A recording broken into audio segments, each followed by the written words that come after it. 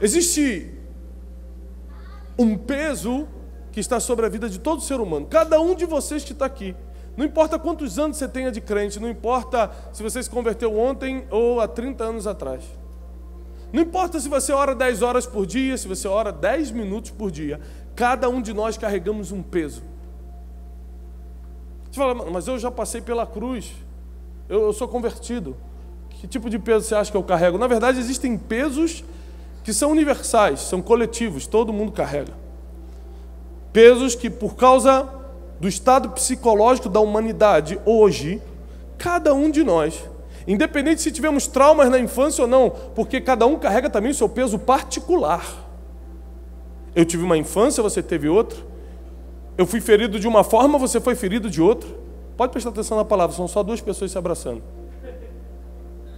Presta atenção aqui, não perde o que o Espírito Santo tem para você, não. Cada um de nós temos um peso particular e um peso coletivo, um peso pessoal e um peso universal. Esse peso particular é quando, por exemplo, existem pessoas que durante a infância não tiveram o que comer, isso a pessoa vai crescendo com peso. Outros foram abusados sexualmente, verbalmente, fisicamente. Outros simplesmente sofreram privações, não tiveram pai e mãe, foram abandonados.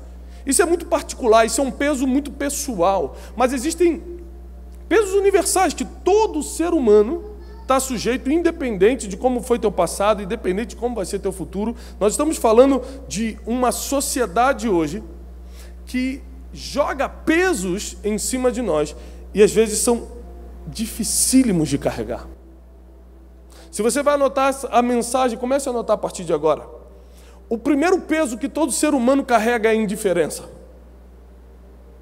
Esses dias eu estava conversando com um grupo elitizado aqui de São Paulo, tinha gente do governo, tinha grandes empresários. falei, gente, uma cidade moderna como São Paulo, uma cidade próspera como São Paulo, uma cidade evoluída, de primeiro mundo. São Paulo, para quem não sabe, nunca viajou para fora, bate de frente com qualquer cidade no mundo é, é uma cidade extraordinária. Como é que pode, no meio dessa cidade, ter dois rios, dois principais rios, as duas principais marginais? O rio é poluído, cheira mal, é sujo. E uma das pessoas que estava na conversa, intelectuais, gente de altíssimo nível, falou assim: Tiago, o problema é que os, esses rios pertencem a todos. E o que pertence a todo mundo acaba sendo de ninguém. E o que não é de ninguém gera indiferença. Como não é meu, sou indiferente. Então você limpa a porta da tua casa porque é teu, mas se o teu vizinho estiver toda suja, você é indiferente. Que ele morra com aquela porta suja. O rio não sou eu, não tá, é da prefeitura não, é do governo não, não, então é diferente. Tudo que não é teu gera indiferença. Isso é a psicologia humana. O que vai de contra o governo e o reino de Deus em que nós temos que nos colocar no lugar das pessoas, assumir, assumirmos responsabilidades que às vezes não são nossas, porque liderar é resolver problema que você não criou. Liderar é você se colocar no lugar da pessoa que não merece a tua atenção. Por isso Jesus foi o maior líder de todos. Porque apesar de ele não ter nada a ver com o teu problema, ele não foi indiferente a ele. Ele não deixou você cair na indiferença, se colocou no teu lugar e por isso ele veio à cruz. O que eu vou ministrar hoje é uma continuação do que o pastor Fabrício, com exímia perícia, colocou. Deus hoje quer dar uma palavra de descanso para vocês, porque o que eu vou falar é a continuação e não foi planejado. Preste atenção nisso. O primeiro peso que socialmente vem sobre a vida de cada um que está aqui, isso é algo coletivo, independente, seja carrega os teus pesos pessoais, mas independente dos teus pesos pessoais, teus pecados, teu passado, tua dívida financeira, tudo isso gera peso, sim ou não? Olha só, você carrega teus pesos pessoais, aí isso está pesado, a dívida, todo mundo te ligando, paga, e não sei o que, o teu passado, as pessoas te acusando, mais peso nas costas. Se você sofreu um abuso ou não, se você foi é, é, é, abandonado pelos pais ou não, tudo isso é um peso, mas independente dos seus pesos pessoais, Existem os pesos sociais que pesam ainda mais e te deixam ainda mais encurvado. A indiferença, por exemplo, quando você não pertence a ninguém, quando você não pertence a lugar nenhum, as pessoas são indiferentes a você.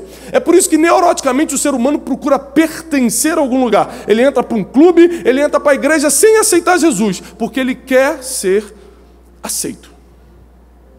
O sentimento de pertencer é algo muito latente no ser humano porque ele não quer ser levado com indiferença, mas a verdade é que a maioria das pessoas hoje vivem debaixo de indiferenças. São atacados por indiferenças, e isso gera um peso que fica mais insuportável ainda quando junta com os teus pesos pessoais, com o passado que você tem, com as histórias que você viveu, e aí você vai juntando. O que não é de ninguém acaba sendo indiferente, se não é meu, o que eu tenho a ver com isso?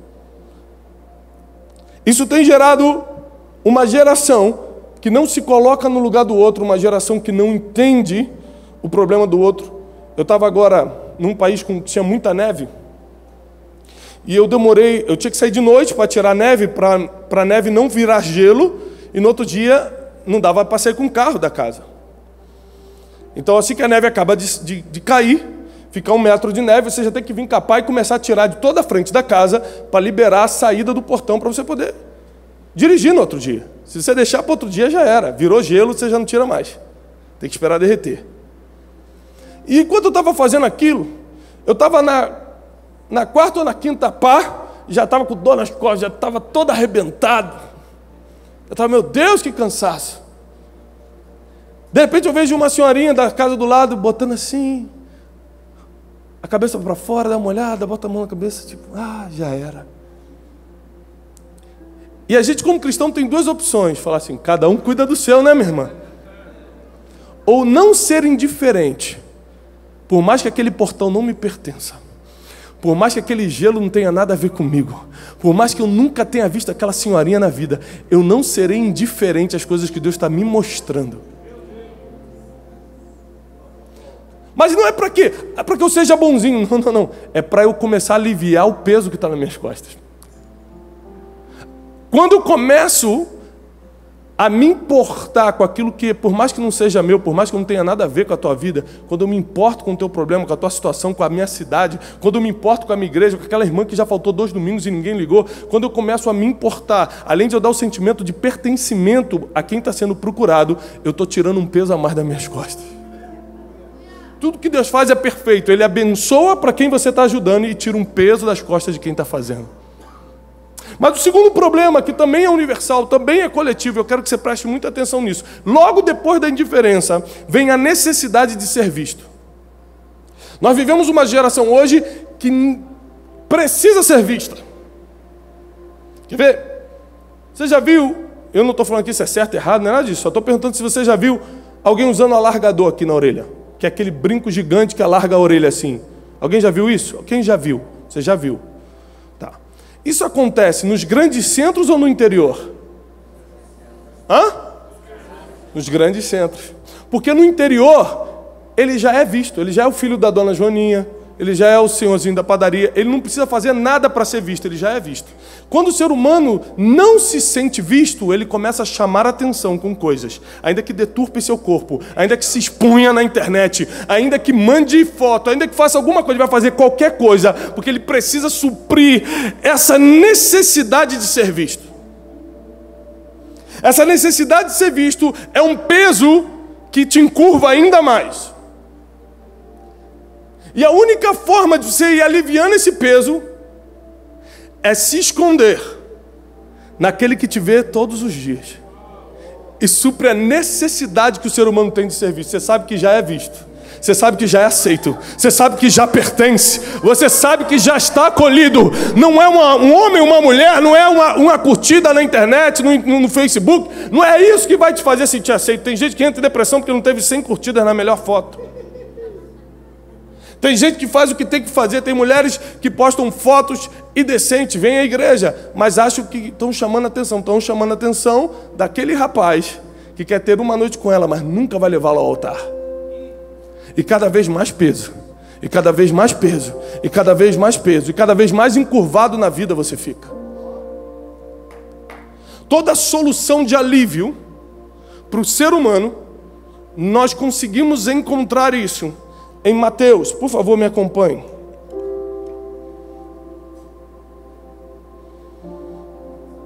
Mateus capítulo 11, versículo 28, e o pastor citou aqui rapidamente esse versículo.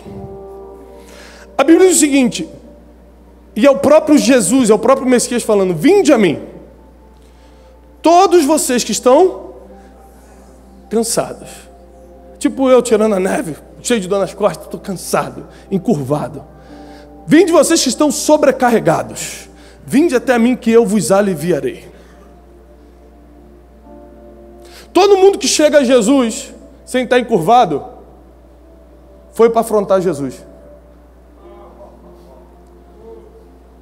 Os fariseus, mas de onde você vem? Quem não estava encurvado de Jesus ia para afrontar. Meu Deus.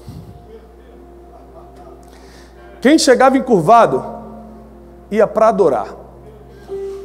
O resultado é bem diferente. Ele fala: Vinde a mim. Você que está cansado, sobrecarregado, porque eu vou te aliviar. Essa indiferença que você está sentindo, eu consigo tirar hoje. Essa necessidade de ser visto, você acha que ninguém te vê, eu consigo te fazer sentir a pessoa mais importante do planeta. Só vem até mim. Eu vou fazer o seguinte contigo, eu vou trocar com você. Eu vou pegar esse fardo que está te pesando e vou dar o meu que é suave, que é levinho. Se o teu fardo está pesado, você ainda não trocou com o de Jesus, que o dele é leve de carregar. Continua comigo na Bíblia, por favor. Mateus 8, 2.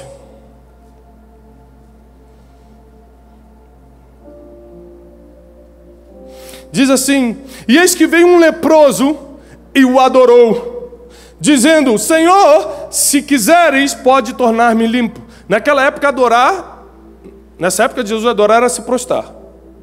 Então ele era leproso, ele não tinha nenhum problema nas costas, mas ele chegou encurvado e adorou. Continua comigo, Mateus, por favor. 9, 18.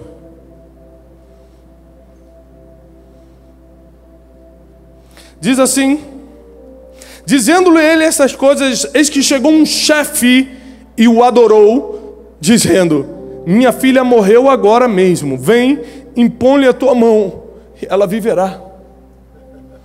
O chefe não tinha problema na coluna também, o chefe também podia chegar, oh, você, vai comigo até a minha casa.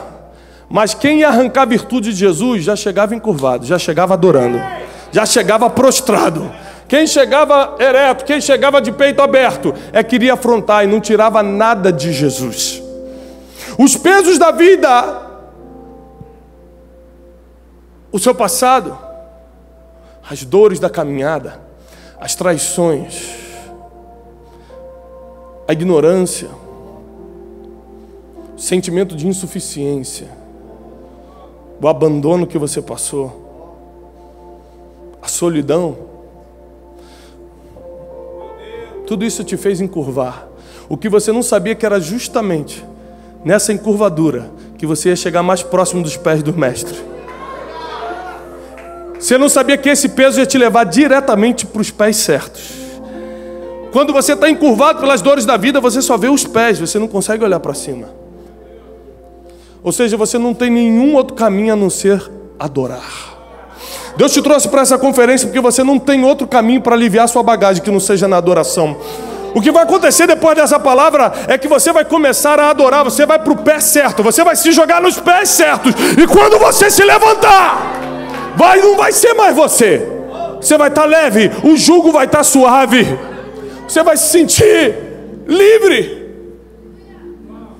E quanto você menos imaginar, ele vai estar tá falando como ele fez com todos aqueles que se prostraram. Vai. Ele vai te dar uma ordem, vai te dar um propósito, vai te dar um chamado, ele vai te dar uma direção. Vai para lá, vai para cá, vai, não peques mais. Vai, entra na cidade, ganha todo mundo. Mostra para todo mundo o que eu fiz na sua vida. A depressão nunca mais vai te pegar. O ataque de pânico nunca mais vai entrar em você. A insônia nunca mais vai te perturbar. O sentimento de rejeição, de não se sentir aceito, nunca mais. Pode ser humano, mas nós estamos passando da fase de humanos para filhos de Deus. Já não nos pega, já não faz parte da nossa biologia. Deus está mudando o teu DNA, porque o DNA de um adorador não é o mesmo DNA de uma pessoa normal. O adorador ele sabe que tem que estar tá prostrado, e quando você está prostrado, ninguém te derruba mais. Quem pode te derrubar mais do que uma prostração? Você já está prostrado. O problema é que nós nos prostramos diante da depressão. Nós nos prostramos diante da crise financeira, a gente se abate, se joga. A gente liga para o gerente do banco, mas não liga para Deus. A gente liga para o psiquiatra, mas não liga para o Espírito Santo. E o que você não sabe é que os pesos da vida, os momentos que você se sentiu de lado, os momentos que você tentou ser visto por alguém, fez qualquer coisa, isso só trouxe mais peso para você.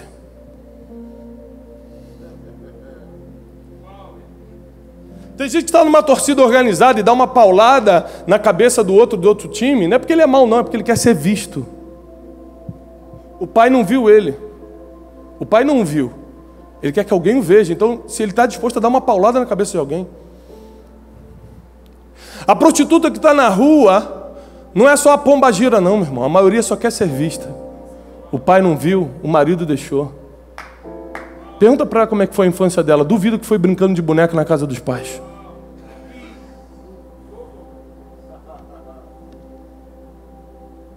Por isso que a Bíblia diz: não julgueis para, não seja, para que não seja julgado. Você não tem a mínima ideia do que a pessoa que está do seu lado passou.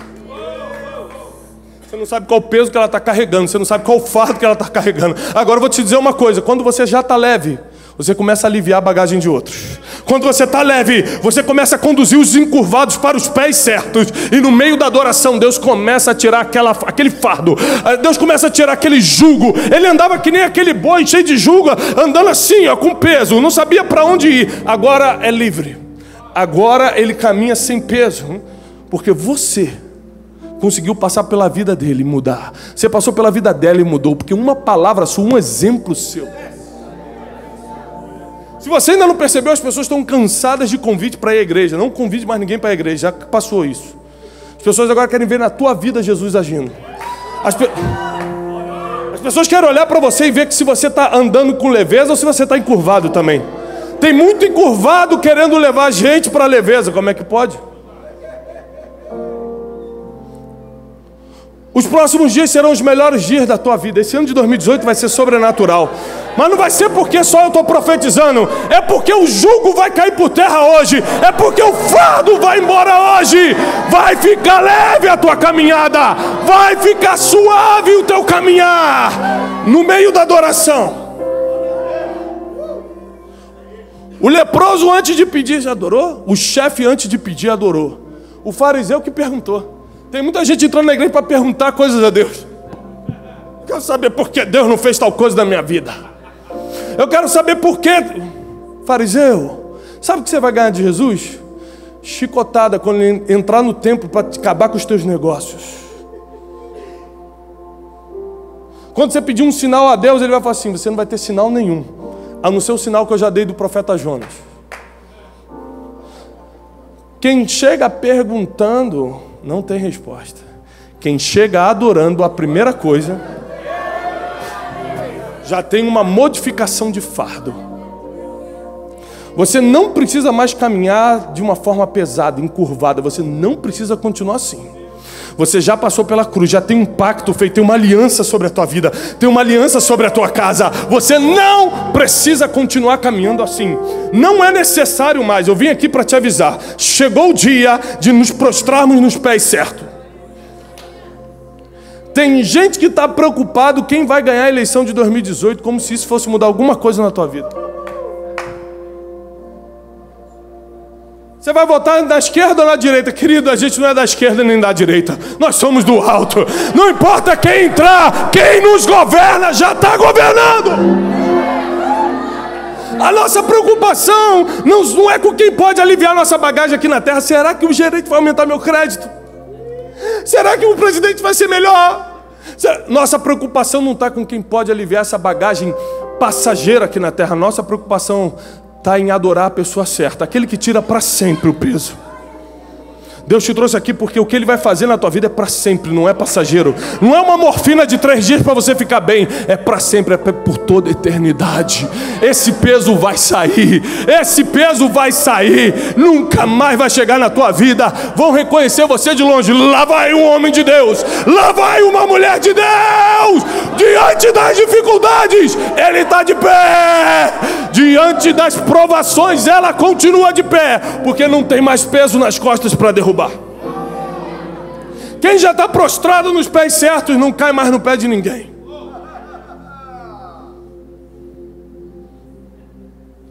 Se alguém te rejeitar, se a indiferença tentar bater na porta da tua casa, da tua vida emocional, isso já não te pega, porque você já é aceito por aquele que te criou. Se você não se sentir pertencente a algum lugar, você vai olhar para sua volta e vai ver que você já é pertencente ao reino de Deus. Nada vai te fazer sair dali. Se você tiver necessidade de ser visto, você vai lembrar que Deus vê o seu nome todos os dias na palma da mão dele. Você não precisa fazer mais nada. Chegou o momento de descansar. Ele vai tirar esse fardo pesado.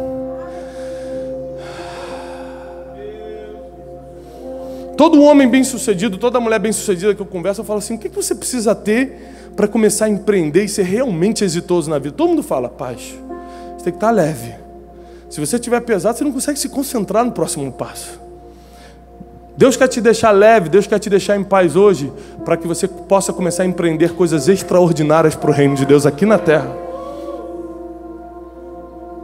Eu sei que você quer ver Jesus, só que só dá para ver Jesus depois que morrer.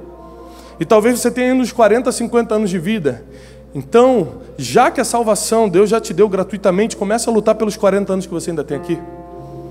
Tira esse peso das costas, porque 40 anos é muito tempo, 30 anos é muito tempo, 5 anos é muito tempo. Você não precisa carregar mais nenhuma grama que não te pertence. Tudo que pesou nas tuas costas, eu declaro em nome de Jesus que sai agora. Toda comparação, a comparação pesa toda frustração, todo peso pessoal ou coletivo, universal ou direto com você. Toda indiferença sai agora da tua vida. Nunca mais você vai se sentir indiferente, não pertencente. Você pertence ao reino dos céus. Você tem um pai. Se teu pai se teu, se teu pai físico te abandonou, você é um privilegiado, porque Deus só adota quem está abandonado.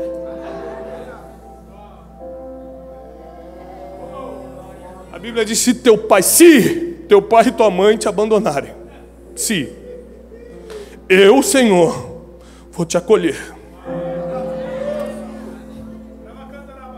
Enquanto você está reclamando porque teu pai foi embora, Deus está falando, e eu? Enquanto Adão no paraíso pedia uma companheira, Deus falou, e eu não sirvo? Chegou um tempo da gente desfrutar nos pés da adoração, nos pés daquele que resolve, nos pés daquele que pode nos levantar leve. E quando Deus te levantar, você jamais vai ser igual. Você não vai estar com a mesma vida financeira, você não vai estar com a mesma vida emocional, você não vai estar com o mesmo peso espiritual. Tudo vai mudar, tudo vai ser diferente. Você precisa se preparar para o que Deus vai fazer na tua vida nessa conferência. Existem coisas, e eu estou convencido disso, que Deus seleciona a dedo para dar. Tem palavra que nem todo mundo pode receber, principalmente o que é dado depois da palavra, que são as liberações espirituais proféticas. Você está aqui porque você foi selecionado a dedo para um tempo de vitória. Mas essa vitória é espiritual. Não é que Deus vai te dar um emprego melhor, tomara que dê. Mas vitória sobre os teus fantasmas espirituais, sobre os teus medos emocionais.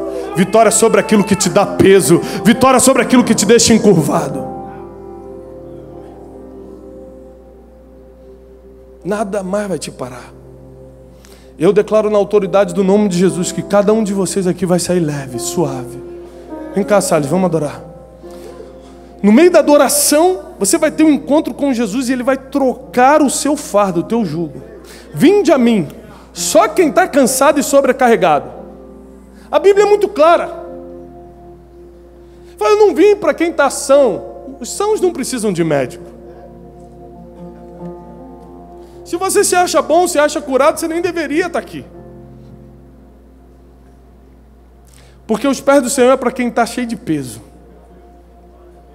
Se você está curado, está bom, você já era para estar tá enviado, você já era para estar tá em algum país fazendo a diferença, em alguma cidade, você já era para estar tá em alguma instituição mudando esse país. E um dia você vai entender essa palavra que eu estou falando agora, nesse minuto. Aqui dentro não é lugar para quem está bom. O bom já era para estar lá fora. Aqui é lugar para quem está encurvado e está procurando os pés certos para adorar para trocar de fardo, porque depois que você se levantar, ele vai te dar um id, vai para lá. Vou te enviar para uma empresa, vou te enviar para um governo, vou te enviar para uma missão, vou te enviar para a Índia, vou te enviar para abrir uma igreja, vou te enviar para alguma. Deus vai te enviar para alguma coisa. Não pensa que Deus te limpa, te libera, te perdoa, tira o teu peso para te deixar agora, agora eu vou viver a minha vida. Não. Ele vai trocar de fardo, mas também de vida contigo. Já não vivo mais eu, diz a Bíblia. Agora Cristo Pronto, você trocou de vida com Ele. Ele vai levar a desgraça que seria a tua vida com Ele e vai dar a abundância que está na vida dele para você.